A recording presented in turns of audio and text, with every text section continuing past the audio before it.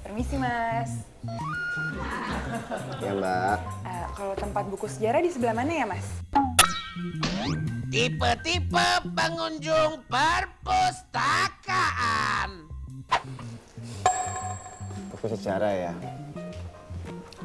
Itu mbak lurus saja, belok kiri, lurus dikit mentok, belok kanan, ada putar balik, lurus dikit, belok kanan. Ya. Makasih ya mas. ya. Tadi saya lupa mas, soalnya ngomongnya cepet banget. Tadi habis belok kiri ke mana ya?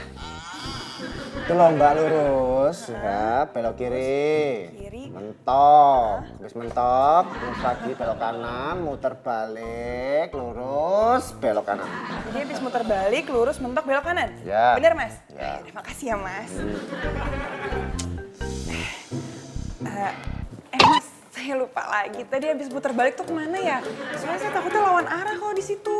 Lawan arah dari mana? Emang perempatan Tomang apa? Ini perpustakaan. Terus belokannya banyak banget. Perempatan apa? Itu lu muter. Saya anterin aja ya. Ya udah. Ada nih kertas. Iya, ayo. Lupa lagi mas. Saya Lupa apa sebenarnya- lagi? Saya sebenarnya saya ke pasar dulu bukan ke perpus. Jadi saya pulang dulu ya. Maaf ya mas udah banyak nanya.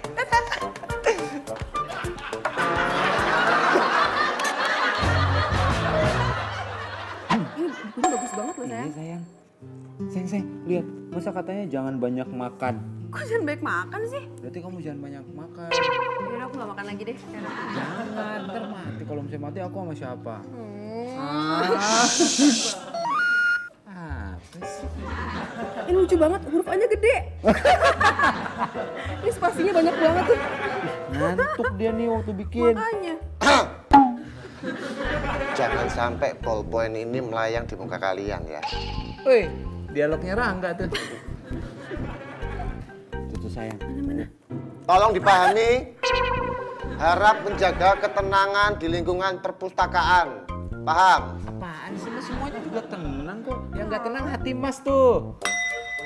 Wah, tahu nih mas sirik banget tuh orang pacaran. Jomblo ya? Oh, atau jangan-jangan orang tuanya udah sering nanyain kapan mau nikah, ya kan mas? Saya ini cuman ingin menjaga kenyamanan supaya tidak terjadi konflik.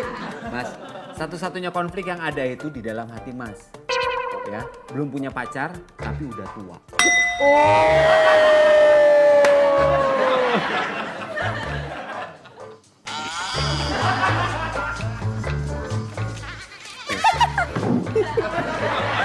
Kasian nih, hurufnya sendirian. Iya, tipis-tipis gitu. Sampai sekarang masih aja sendiri.